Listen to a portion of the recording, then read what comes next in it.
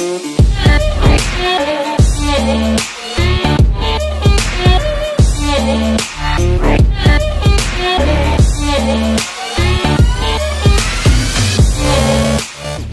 you saw in that cool intro, that's what you'll be learning today, so let's get into it.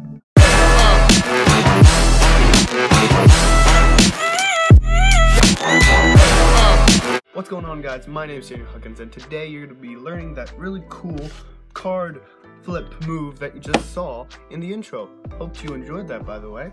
And I wanted to thank you guys so much for the 75 subscribers that I got. We reached our goal before the month is even done.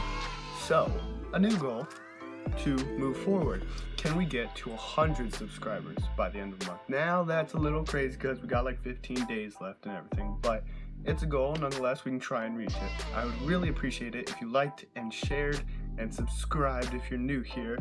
Do all that stuff so that we can grow this channel to 100 subscribers. Also, one more thing before we get into the tutorial, those cardistry trainers that I talked about in the previous videos, I will be teaching how to make them next week is my plan. If I don't do it by next week, I promise you, there will be a tutorial of how to make them super soon. I'm gonna stop talking now and we can get right into the card flip shop tutorial. Okay, for this tutorial I'll be using my very worn and torn Cherry Casino green cards. Green cards. Green edition. If you guys want to check these cards out, I really like them and use them a lot. Link in description if you guys want to check these cards out. Okay, now the tutorial, the trick looks like this. Except maybe a little better, but yeah. Okay, so if you know how to do a one-handed cut, this should be relatively easy, but you don't need to know how to do a one-hand cut to do this. If you'd like to learn that, link in description for a tutorial of that and this. Okay, so what you want to do is put the deck in what people call a straddle. Okay, so you want to break off part of a packet, and you don't want to just do this like you're going to do a one-hand cut if you know how you want to kind of like twist it a bit with your thumb and your middle finger. Not much, just a little bit. Okay? You want to transition from the middle finger to the ring so that your middle finger can pull out this bottom card of this top packet.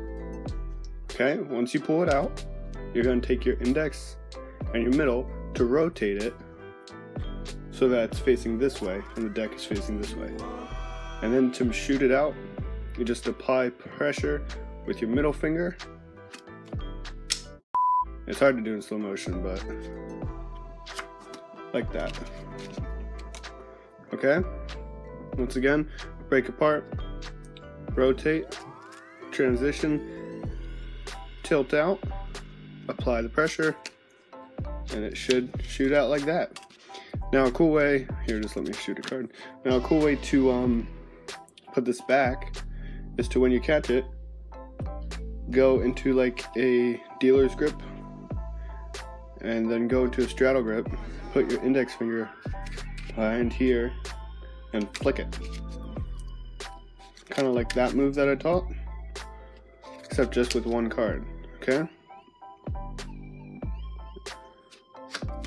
Ooh. Once again, break off the pack, push it up, that's two cards. Push it up, push over, flick, and there you go. Pretty cool move. Hope you guys enjoyed that. And that is it for the tutorial.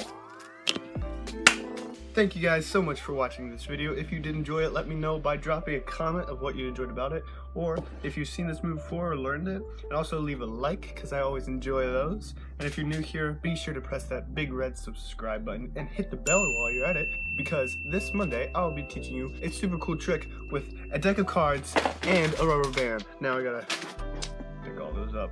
So be sure to hit the bell so you get notified when that video comes out. Thank you guys so much for watching this again, and I'll see you guys on the next video. See ya.